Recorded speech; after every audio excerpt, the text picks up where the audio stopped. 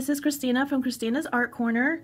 Today I have uh, an opportunity to review a product sent by Lightwish and I just want to open, unbox, and swatch what they sent. So it comes in this nice box. It's Nayoni, but Lightwish is the company that sent it to me. And it is 24 chalk pastel colored pencils. And here we have two sections here. By the way, you might hear our new puppy in the background. So I apologize if you do hear that. he's a new puppy, so he's feeling his oats right now. Uh, but anyway, it comes with all of these colors, just 24. And it's a nice wooden pencil. And you have your color dipped end. And then you have a number. And it has the name Nayoni. And you get 24 colors, as I said, so I figured we'd go ahead and swatch them. I will speed it up just for the sake of time, and then I'm going to work on a few pages, both dry and wet, using these. So let's go ahead and get started. And I'm just going to swatch them in the order that they're in here. All right.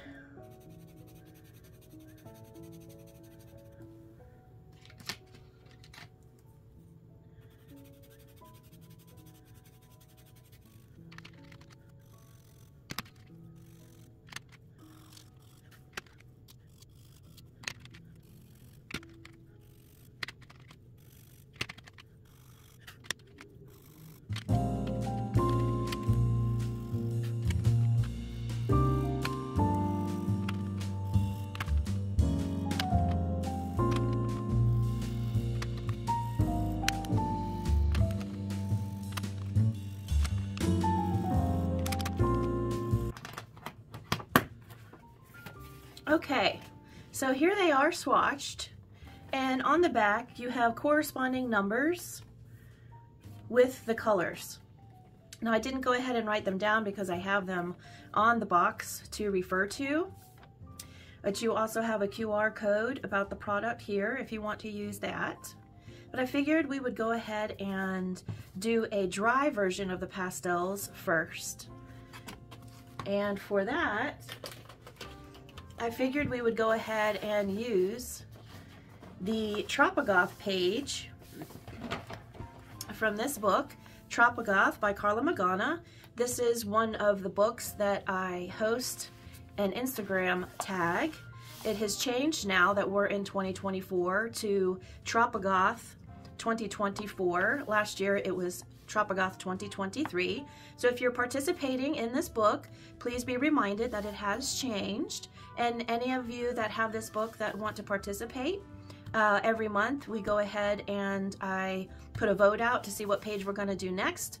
For December and January, we kept the same page due to the holidays. So I thought I would go ahead and do a background here in the blues and purples. And for that, let's see here. Here is our blue. And here is our purple. And then this is a dark, let's see here. Is it showing on here? The the way it's pictured, it's not exactly how it's coming out on the swatch, but I believe it's like an indigo color, this one. And then the next one is black, but we'll see. And I just want to sharpen this one because I have already used it in a wet process that I filmed prior to this. So let me just be back with a sharpener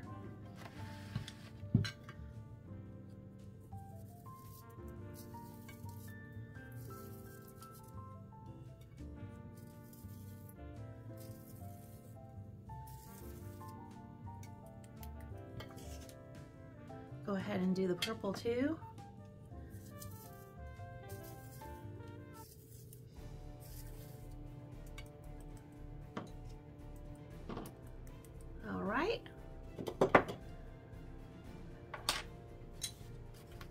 Okay, so now on the swatches, what I want to share with you is there is a white here, a cream color, and this uh, good skin tone color. So those are nice to have, and then having the black also. It really comes with a nice variety of colors. There's lots of nice browns here and like an Indian red, a mauve color, um, these two greens here. Uh, and they go down very easily. I'll just put this to the side here. All right, let's go ahead and try it out. I'm gonna use the darker color here. And after I've gotten it down, I'm gonna use a blending stump. Now they will turn a little lighter as you uh, blend them.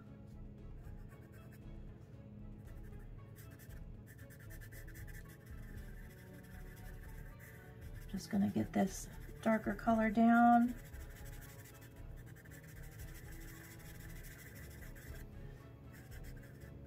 There we go. And then I'll bring that a little bit to the edge over here. Just a little bit. And then we'll go lighter outside of it.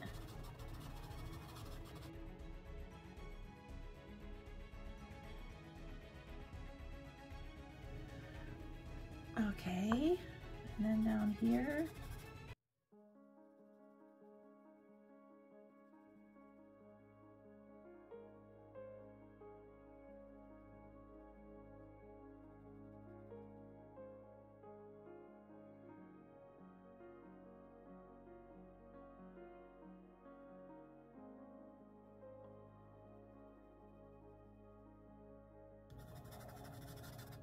Okay, now I'm gonna go in with a little bit of purple.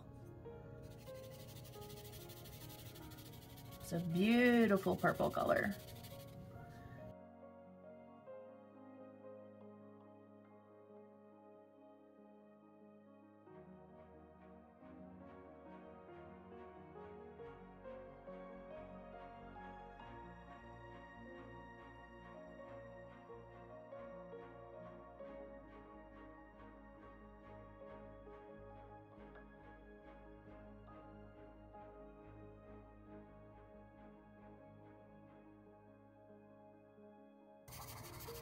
See, it's so easy to lay down.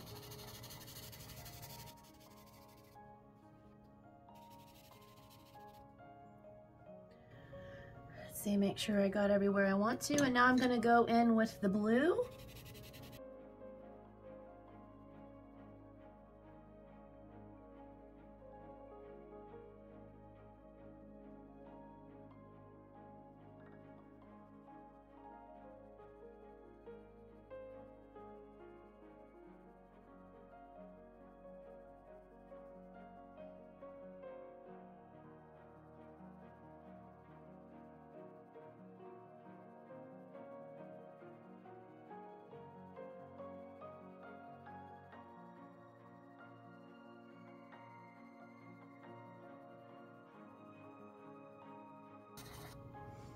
Okay, I think we have a good base here going. And now I'm going to use one of these blending stumps that I get from Amazon. Let's choose this one. It's good because you've got a nice little point.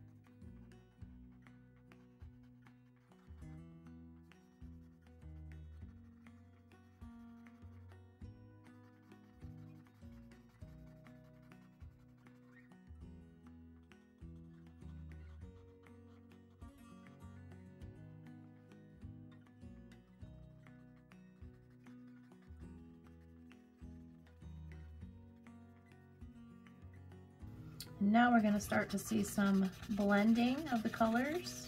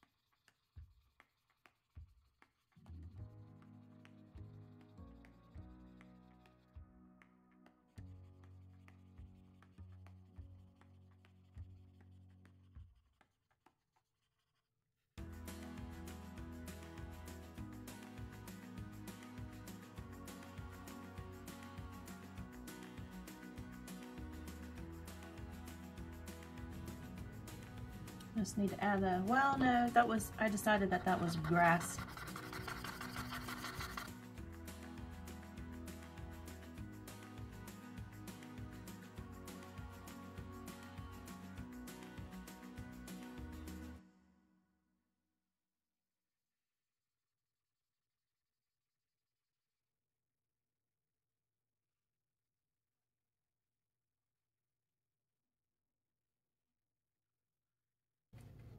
Okay, I think that turned out pretty cool. The other thing that I could do is I could put down another layer and I'll just show you maybe what that does.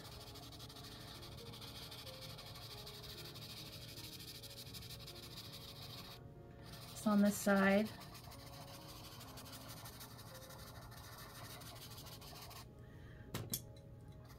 And go into the blue.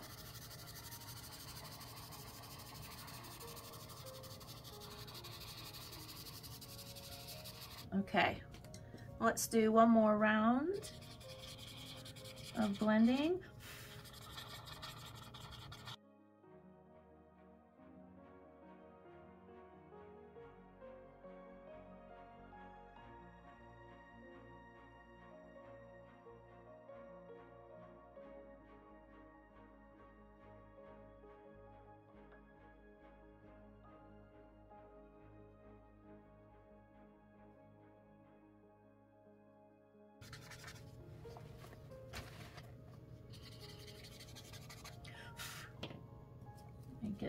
Purple in here. And a little more blue.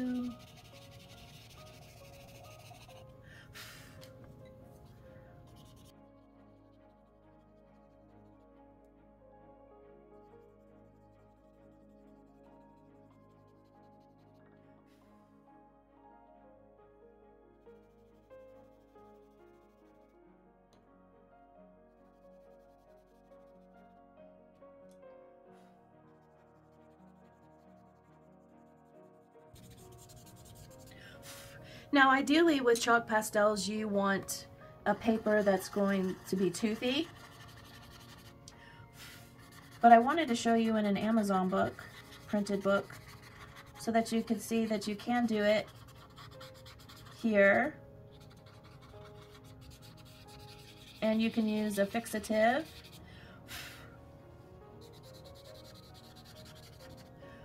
to seal it if you like.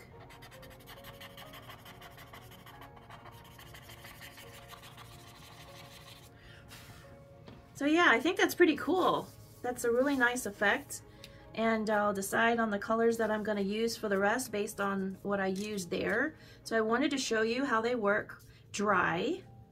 And then in the next portion of my video, I'm gonna show you how I use it in another book, but a wet version. And then I do my own original artwork in a uh, watercolor sketchbook. And I hope that you enjoy the rest of the video.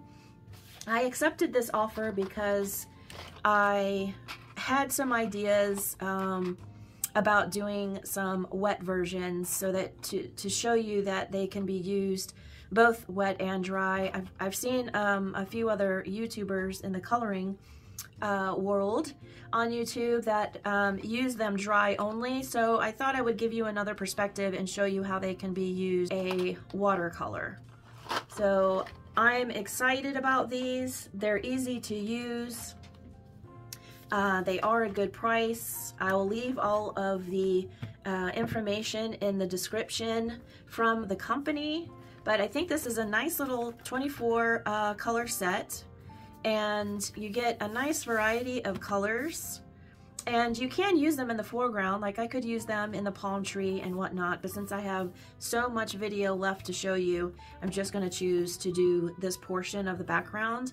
But you can see you can get a really pretty effect and uh, you can layer it to keep getting it darker if you like but I'm pretty happy with uh, what's happening here. So I hope you enjoyed this part of the video and I hope you enjoy the rest and I will see you all in the next video. Thank you so much for watching.